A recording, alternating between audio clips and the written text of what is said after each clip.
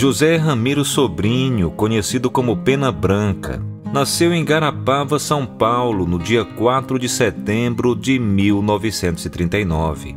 E Ranulfo Ramiro da Silva, conhecido como Chavantinho, nasceu em Uberlândia, Minas Gerais, no dia 26 de dezembro de 1942. José e Ranulfo tiveram uma infância marcante na região de Uberlândia, no Triângulo Mineiro. De calça curta e suspensão e com a baladeira no pescoço, os dois se divertiram nas mais diversas brincadeiras no interior. Nos mutirões musicais e nas festas de fazenda, eles se divertiam muito. Na família de José e Ranulfo, muitos gostavam de música e sabiam cantar, dançar ou tocar algum instrumento. O pai deles tocava cavaquinho, os tios tocavam violão e sanfona de oito baixos. No meio da família, quando tinha alguma oportunidade, a mãe que gostava de cantar colocava os filhos José e Ranulfo para soltarem a voz. Quando os dois cantavam, todos observavam com atenção e davam algumas dicas para eles melhorarem a performance como cantores. Uma das músicas que os irmãos gostavam de cantar era Boiadeiro do Norte. O Boiadeiro do Norte quando anda pela estrada. No início eles apenas cantavam. A parte instrumental ficava por conta de familiares, mas não demorou muito para José e Ranulfo aprenderem os primeiros acordes. A vida não foi fácil para aquela família humilde. Para ajudar em casa, os irmãos trabalharam na roça como ajudante de pedreiro, entre outros trabalhos braçais teve um momento que eles ficaram um pouco afastados devido a essa correria do dia a dia. Os irmãos foram crescendo, tiveram outras experiências e sonhos, mas o destino se encarregou de aproximar ainda mais José e Ranulfo, que sem sombra de dúvidas nasceram para cantar juntos. No rádio, a primeira apresentação da dupla foi uma rádio em Uberlândia, em um programa apresentado por Coronel Hipopota.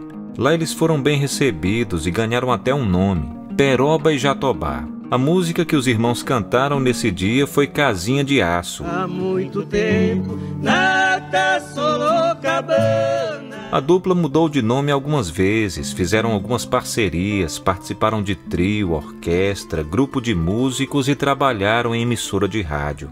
Com o passar do tempo, os irmãos foram adquirindo mais experiência e desenvolvendo ainda mais o talento musical. Com o nome de Pena Branca e Chavantinho, a dupla foi ficando ainda mais conhecida. Um momento importante na carreira deles aconteceu no final dos anos 60 e início dos anos 70 em São Paulo. Lá os irmãos tiveram novas oportunidades, chegaram a frequentar locais frequentados por importantes nomes da música sertaneja. Se destacaram em várias apresentações, inclusive no primeiro festival da Grande São Paulo, e tiveram a oportunidade de gravar um disco. Nos anos 80, muitas portas se abriram para Pena Branca e Chavantinho. No programa Som Brasil, apresentado por Rolando Boldrin, a dupla fez muito sucesso. Rolando se tornou um grande parceiro da dupla. Dentro do projeto Som Brasil, eles realizaram um trabalho importante e ficaram conhecidos em todo o país. Pena Branca e Chavantinho gravaram vários discos, inclusive com grandes nomes da nossa música. A dupla ganhou vários dos principais prêmios da música do país. Eles foram destaque muitas vezes na categoria de melhor dupla sertaneja. Pena Branca e Chavantinho, um dos principais representantes da música sertaneja de raiz, jamais serão esquecidos. Eles deixaram um legado incrível na música brasileira. O campo vive aceso, verde dentro da gente diuturnamente. Tem hora que a gente dá uma tristeza muito grande por ver devastação, tudo se acabando, de onde corta, devasta, não replanta. E nosso trabalho musical é mais ou menos por aí, a gente faz alerta, né? Grita com as pessoas, dá um solavanco, acorda, acorda, estão acabando com a vida. É, gostaria que tudo voltasse, né?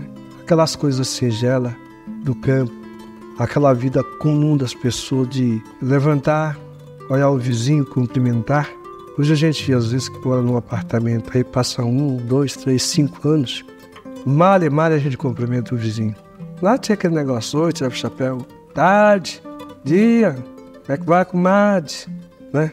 Todo mundo sabia de tudo. aquela vida comum era tão simpática, né? Oh, mas que coisa. Debulhar o trigo e fecundar o chão. Aquele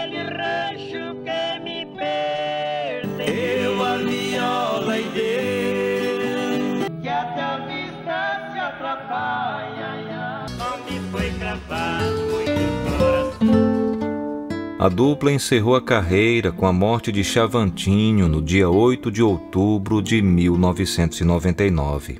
Chavantinho faleceu aos 56 anos devido à insuficiência respiratória e falência múltipla de órgãos.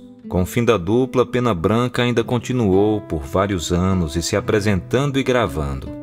O grande artista chegou a ganhar um Grammy Latino de melhor álbum sertanejo no ano de 2001. Infelizmente, no dia 8 de fevereiro de 2010, Pena Branca sofreu um infarto e faleceu aos 70 anos.